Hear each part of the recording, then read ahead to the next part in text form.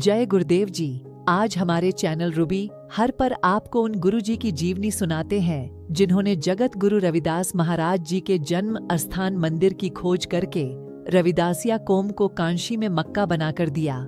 वह है डेरा सचखंड बल्ला के महान सतगुरु सरवण दास जी महाराज, बाबा पिप्पल दास जी के बाद डेरे की सारा कार्यभार श्री संत सरवण दास जी ने संभाला। आप संगत को बहुत प्यार करते थे। आप जी का आगमन 15 फरवरी 1895 ईस्वी को सम्माननीय बाबा पिप्पल दास जी और माता शोभावंती जी के पावन गृह गाँव गिलपत्ती जिला बठिंडा में हुआ। संगत की संख्या दिन प्रतिदिन बढ़ने लगी। नाम की दवा से, जहाँ आप संगत की जन्म जन्मांतरों की बीमारी का उपचार करते, वहीं उन्होंने आयुर्वेदिक जड़ी बूटियों द्वारा स्थूल शरीर के इलाज का प्रबंध किया। इसके साथ साथ गुरुजी ने बच्चों की शिक्षा का भी प्रबंध किया। महाराज जी खुद बच्चों की क्लास डेरे में लगाते और पढ़ाई के साथ साथ श्री गुरु ग्रंथ साहिब जी का अध्ययन भी करवाते। बाबा पिपल दास जी के समय दौरान ही, आप संगत की सेवा में से समय निकालकर एकांतवास में साधना के लिए चले जाते थे।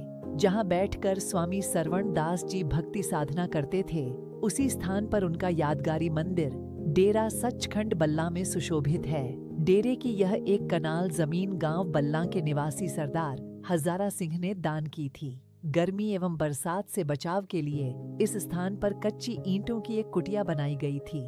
कुटिया के सामने एक थड़ा था, जहाँ बैठकर संत सरवण दास जी संगत को प्रवचन सुनाया करते थे। इस थड़े का निशान आज भी मंदिर के सामने विद्यमान है। बाबा पिप्पल दास जी की कृपा से संत हरिदास जी, संत सरवण दास जी के संपर्क में आए और स्वामी सरवण दास जी ने संत हरिदास जी को संगत की सेवा में जोड़ा। कुछ समय बाद संत गरीब दास जी और संत निरंजन दास जी ने भी अपना जीवन गुरु चरणों में समर्पित कर दिया। और संत सरवण दास जी द्वारा लगाई गई सेवा कुशल ढंग से निभाने लगे। श्री गुरु रविदास जन्म स्थान काशी में मंदिर का निर्माण, दुनिया भर में श्री गुरु रविदास जी के जन्म स्थान पर कोई ऐतिहासिक मंदिर नहीं था। स्वामी सरवण दास जी, स्वामी हरिदास जी और स्वामी गरीब दास जी ने विचार कर काशी में गुरु रविदास जी के जन्म स्थान पर मंदिर के निर्माण की योजना बनाई। संत सरवण दास जी ने श्री गुरु रविदास जन्म स्थान मंदिर का नींव पत्थर 14 जून 1965 आषाढ़ की संक्रांति के दिन श्री 108 संत हरिदास जी के कर कमलों से रखवाया। इसके पश्चात मंदिर के निर्माण का कार्य संत हरिदास जी ने संत गरीबदास जी के साथ संगत भेजकर करवाया।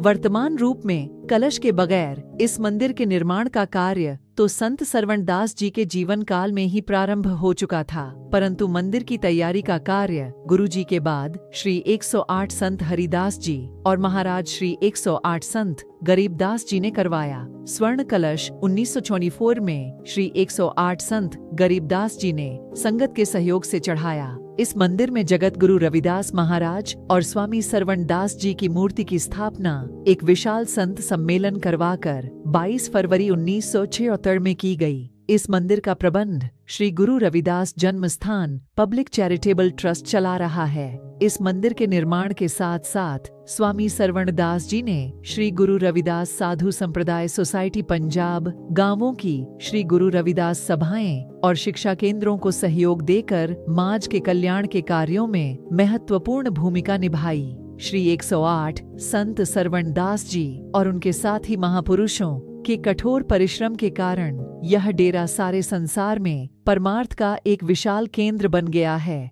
दुनिया भर के श्रद्धालुओं की नज़रें इस स्थान की ओर आकर्षित हुई। सतगुरु जी के चरणों में से सभी की मनोकामना पूर्ण होने लगी। प्रतिदिन आश्रम में संगत की चहल पहल लगी रहती थी।